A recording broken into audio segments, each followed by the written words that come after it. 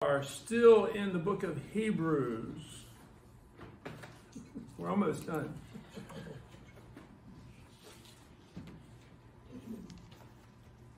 And by now, turn this thing on.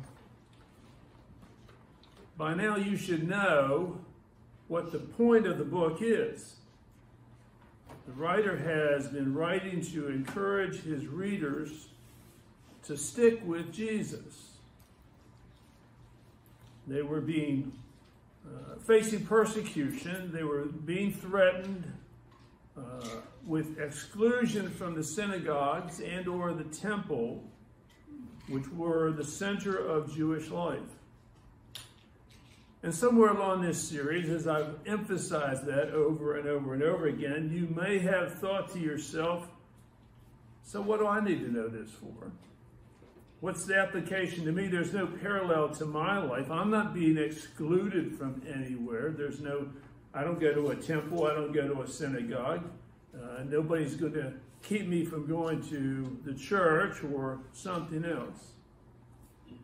However, there is a parallel to our lives today. Christians around the world are being persecuted and threatened.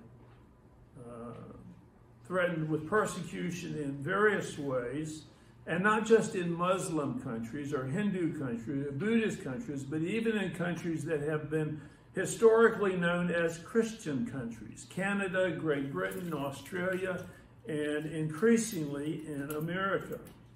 Uh, I foresee a time that you young adults and teenagers in your lifetime will face persecution for being a Christian. You will be threatened with exclusion from something in some way.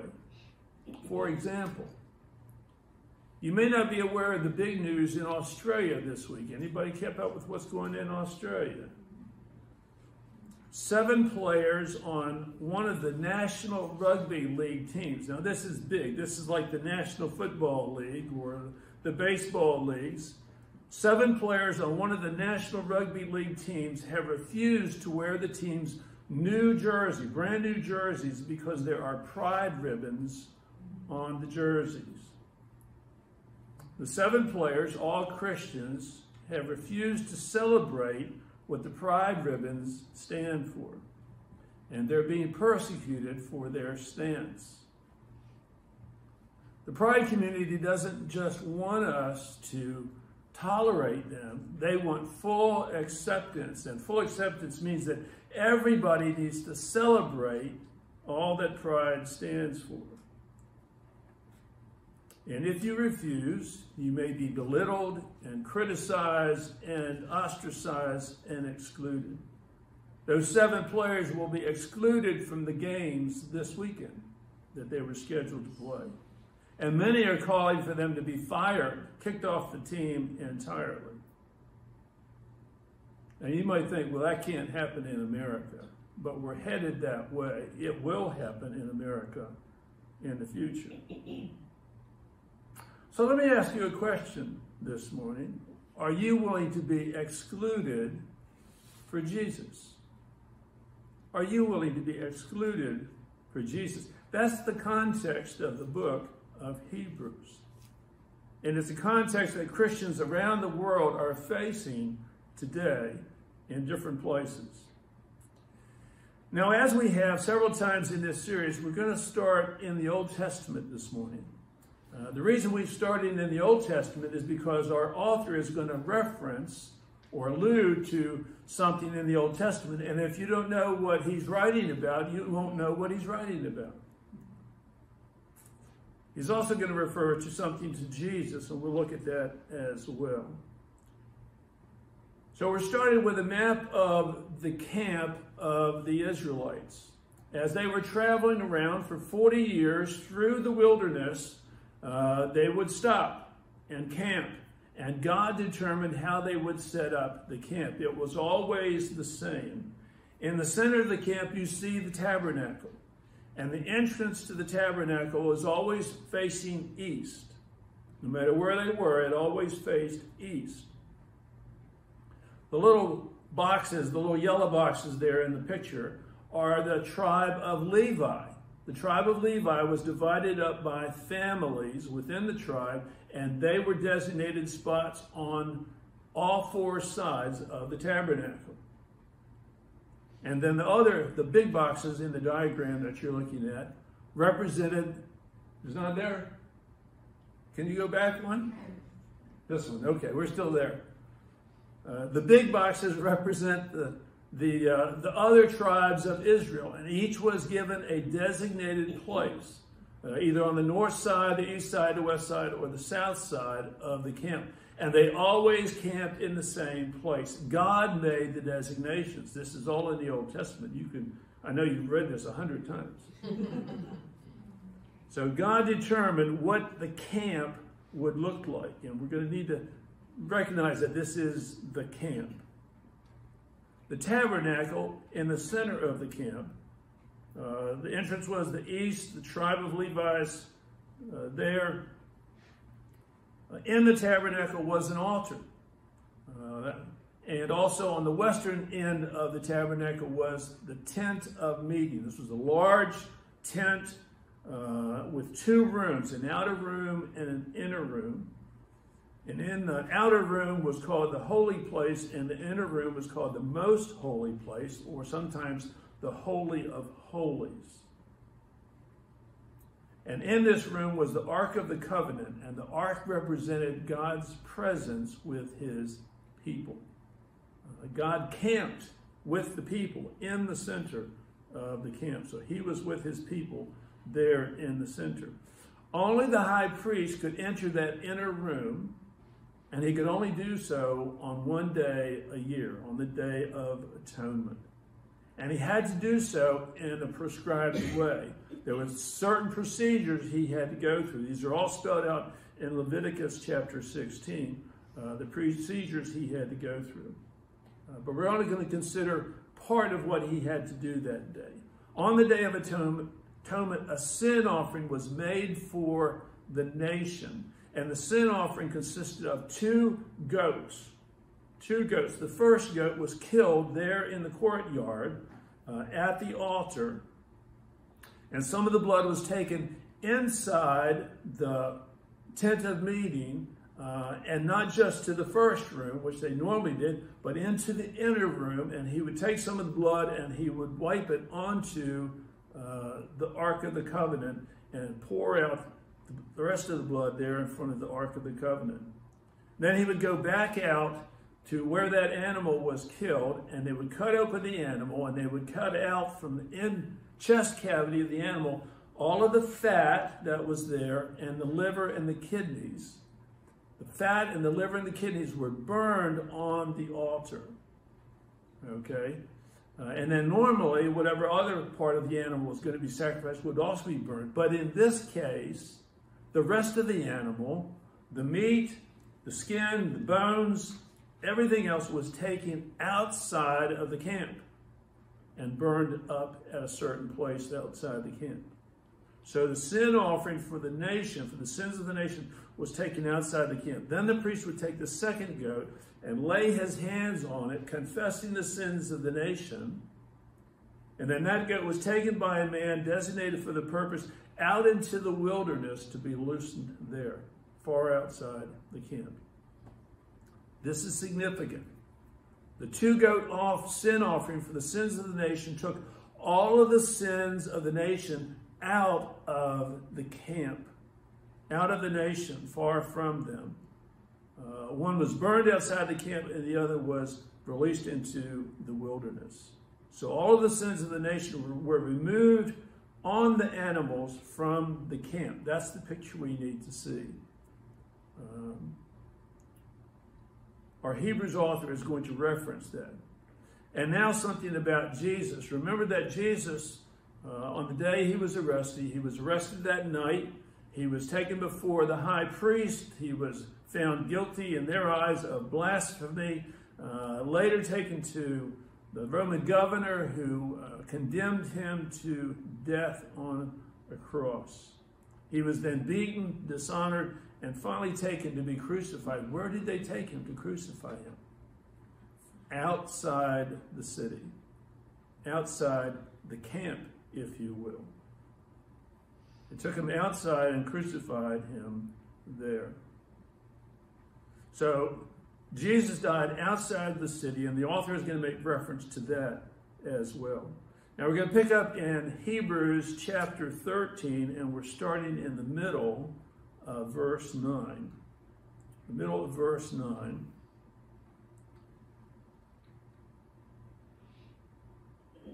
It is good for our hearts to be strengthened by grace, not by ceremonial foods, which are of no value to those who eat them. Now, you're all familiar with what he's talking about, right? Hmm. Shake your head if you don't know what he's talking about. All right, the ceremonial foods are those foods from those Old Testament animal sacrifices. Uh, in the one I described, none of that sin offering was eaten, but the regular offerings, even the regular sin offerings, not uh, that, that you would bring if you were a Jewish person to the to the temple or to the tabernacle, uh, part of that was given to the priests. The priests, in most of the sacrifices, were given some of the sacrifice to eat. That was their wages for serving in the temple. And in the case of a fellowship offering, if you brought a fellowship offering, uh, not only would the priest get to eat some of that food, you'd get to eat some of it. So the animal was sacrificed, some of it was burned on the altar, and then you and the priest, your whole family, would go over here and have a picnic in the tabernacle. Or maybe outside of the tabernacle, we don't know. Uh, but when they had the whole temple, you would do that in the temple. You would have this picnic over here, and you would eat some of that animal that had been sacrificed to the Lord, signifying your fellowship with God. But none of those sacrifices, none of those sacrifices that were eaten uh, by the priest there, uh, brought complete forgiveness of sin. None of them brought complete forgiveness of sin. Uh, and the author of Hebrews points that out earlier in the book of Hebrews. We've been through that in detail in chapters 8, 9, and 10 of his letter. Instead, by the one sacrifice of Jesus, we have complete forgiveness and we have intimate fellowship with God. We have it better than they did. We have it better than they did, which the next verse alludes to. Verse 10 We have an altar from which those who minister at the tabernacle have no right to eat. The kingdom of God is a spiritual kingdom. And our altar, the one at which we pray each day, is a spiritual altar. At it, we confess our belief in Jesus that his death paid the full sacrifice for all of our sins. And what he's saying is that those Mosaic priests who rejected Jesus and continued to offer and eat the sacrifices in the temple daily had no share in the blessings that you and I have in Jesus Christ. We pick up again in verse 11. The high priest carries the blood of animals into the most holy place as a sin offering. That's the Day of Atonement. But the bodies are burned outside the camp. So that's what we described earlier. And so Jesus also suffered outside the city gate to make the people holy through his own blood. There's our reference to the Day of Atonement sin offering burned outside the camp and a reference to Jesus who was who died and was buried outside the city. A place of execution, a place of exclusion outside the camp, outside the city. A place of exclusion, a place of humiliation, a place of dishonor, at least in the eyes of the public.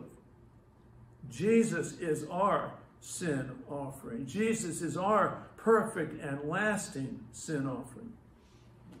So the sin offering had to be removed from the camp, removed from the city. Our sins are far removed from us. Jesus became sin for us. So once more, he's, he's pointed to those truths that we've emphasized uh, time and time through this book. And then he gives us some ways to respond to these truths. Uh, he's done this throughout the book, especially since the middle of chapter 10. He's given us different responses that we should make to these truths, and we find the last of those today. Uh, and this is the this is the key one. Uh, this first one: choose disgrace and exclusion with Jesus. Choose disgrace and exclusion with Jesus. Look at verse 13. Let us then go to him, Jesus, outside the camp, bearing the disgrace he bore. For we do not have an enduring city. We're looking for the city. We do not have here an enduring city, but we're looking for the city that is to come. We're looking for the heavenly Jerusalem to come down on the new earth. And we looked at that hope of the Christian life earlier in this book.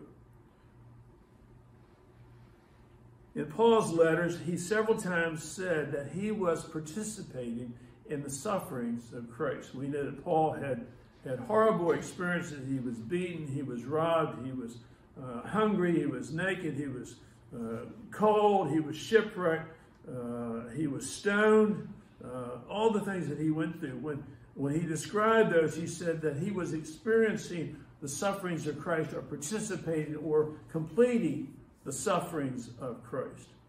And I believe that what he meant was that anytime you and I face persecution as Christians, we are sharing in the sufferings of Christ.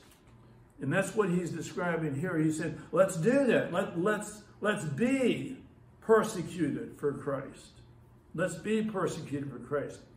One of those passages in the book of Acts, uh, when the 12 apostles, the 11 at that point, were uh, arrested by the temple guards and dragged before the high priest, the Sanhedrin, and were told uh, not to preach Jesus any longer. And they said, well, you know, God said to do so.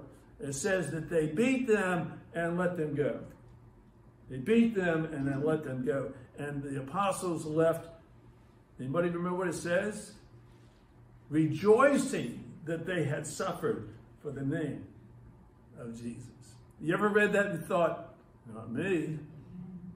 I don't want to do that. I wouldn't be rejoicing. Amazing, amazing passage. Of course, they did that in the power of the Holy Spirit. But that's what our author here is saying to do. Choose to, if that's what comes your way, re, embrace it. Choose it. Be reviled. Be persecuted. Be excluded with Jesus.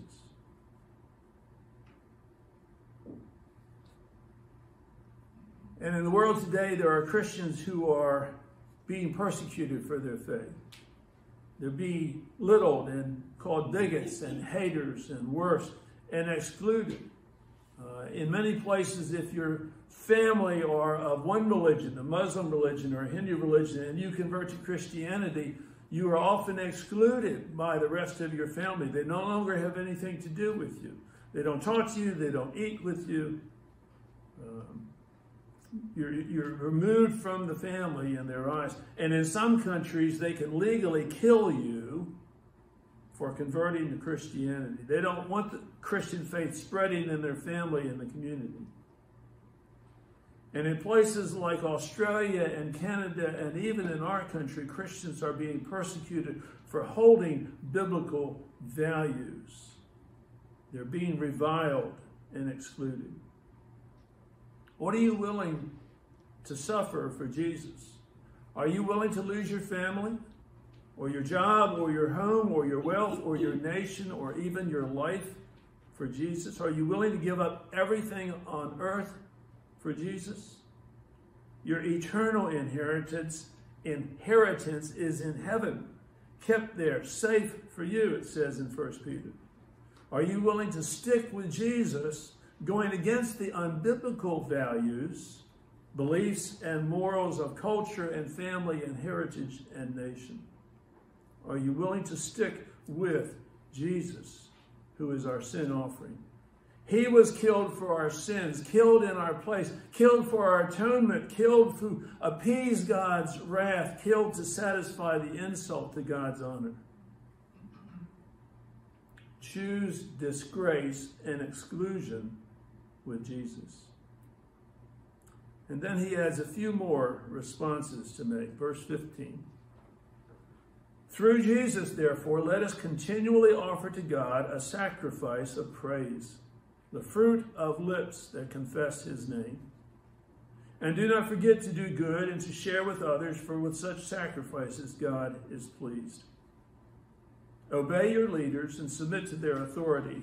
They keep watch over you as men who must give an account.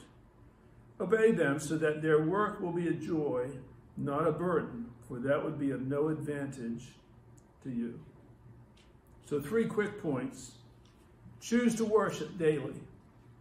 Choose to worship daily. Worship, personal worship, from the heart worship, daily worship should come from each of us to Jesus in response to the truths of this letter. Choose to share your joy with others. In your joy of these truths, go out and do good and share of your bounty with others, your material blessings as well as your spiritual blessings in Christ. And then choose to submit to spiritual authority. In your celebrating, uh, the celebrating of your salvation, do not get carried away into pride, but humbly submit to those God has placed over you. Now, in our church, we don't have elders, we don't have deacons who serve as elders. Uh, we don't have a, a human authority over us in the church, but every Christian, every Christian has the Lord Jesus over them, and he communicates through the Holy Spirit. So do not ignore the Spirit speaking to your life, convicting of sin, calling you to repentance, empowering your obedience. Jesus is calling to stay with him, to stick with him in this letter. He's calling us that no matter the cost, we choose disgrace and exclusion with him.